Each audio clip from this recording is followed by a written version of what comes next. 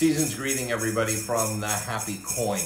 I have a uh, recent purchase inventory highlight for you today. Uh, it's again uh, about more proof coinage. Uh, but before uh, I get into that, I wanted to just take a minute to uh, talk briefly about the holidays. Thanksgiving went great for, for, for us here at the Happy Coin. we enjoy the holidays. We love Thanksgiving. We really like Christmas. Uh, but we also know there's a lot of people who don't like the holidays, and we get that too. So if you stop into the store and you don't like the Christmas music, or you want to hear something else, or you're just grumpy and you don't like the holidays, let us know because we get that. And uh, it's enough about the holidays, okay? All right. So, um, buying this coin recently, um, it's a 1936 satin-proof buffalo nickel, and it's a really neat coin. It's uh, fairly rare. They made 4,400 proof buffalo nickels in, uh, in 1936, and that was the first year that they resumed proof coinage, that the U.S. Mint resumed proof coinage after laying off for 20 years from 1916 through 1936. They didn't make anything, or they started again in 1936. But we'll get more into the specifics about this coin later. Sort of gives me, um, with the $3 gold proof coin that we did recently, and this coin coming up, I wanted to just talk a little bit more about proof coinage. The coin up on the screen here is an 1833 cap bust half dollar proof, and it's called a crushed letters. As many of you probably know, the cap bust uh, half dollars were, uh, they had lettered edges, and the way that the, uh, the way that the proof um, uh, coining of this was set up with the collar and the dies and everything, it smushed the edge of the coin and the letters were compressed and looked a little bit unusual. This is one of five coins. This uh, 1833 uh, cap bust proof half dollar is one of five coins that the U.S. Mint made. It last sold in February 2016 for like $140,000 or something like that. It's a pretty unusual coin. Um, the next one is the uh, dollar. Um, this is a, um, a proof coin.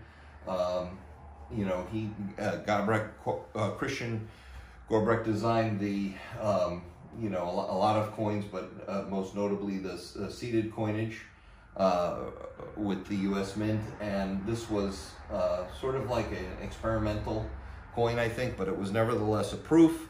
Uh, a thousand of them were made. Um, this one last sold in um, August of 2014 for 88,000. Um, jumping ahead in proof dollars, um, this is sort of the king of all Morgan dollars. Um, in 1895, they only made um, proof uh, dollars in Philadelphia, and this is a deep cameo. I think it's a 67 plus. It's a pretty, uh, you know, uh, rare coin. I think they made 800 of them or something like that, and this coin sold well into the six figures. Um, it's really a stunning, stunning coin. Um, they, the U.S. Mint made, you know, quarters and half dollars, and they made pennies, uh, some very unusual pennies. Uh, large cents were made in proofs. Um, a lot of the Flying Eagles. A lot of people think that all of the Flying Eagles were proof coins, or all the 1856 Flying Eagles were proof, something like that. I don't even know. Um, but the the mint struck a lot of proof coins um, for many many years, starting uh, like with the 1801 dollar. And these are just sort of some notable examples that I'm coming up with. Um, interestingly, they also made.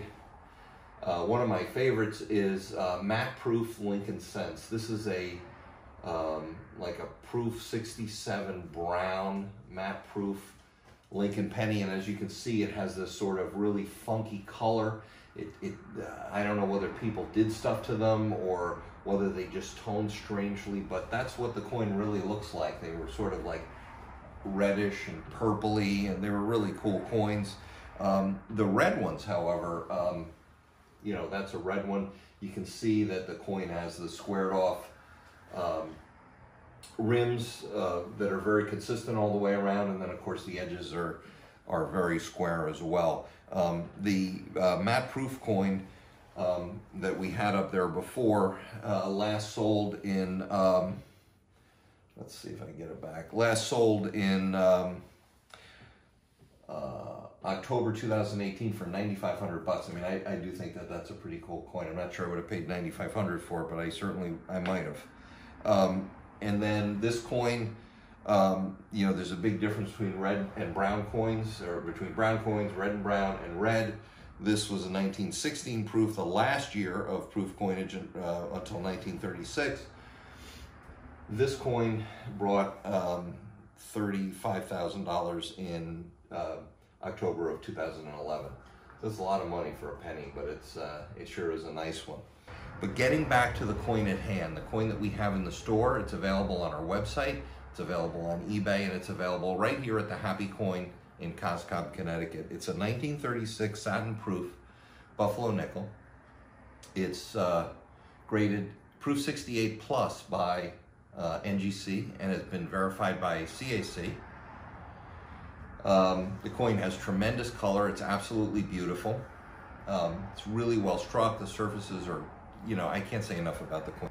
I think a Proof 68, the auction record for a Proof 68 was like $18,000. This one's a little bit, we have it priced a little bit under 16,000. Um, and you know, it's here, it's here for the taking. So anybody that wants to come in and, you know, look at the coin, talk about coins, uh, shop for holiday gifts, or just come in and say hello. The coffee's always on and uh, we'd love to see in the store. So thanks everybody for watching the video. Have a great holiday if you're so inclined, and if you're not, as I said, we get that too. Uh, and uh, thanks everybody for your time and watching. Thank you again, everybody, for watching, and we encourage you to like, subscribe, comment, and share. And I look forward to seeing you on the next recent purchase inventory highlight. Christmas is coming. We've been doing some shopping. See you next week.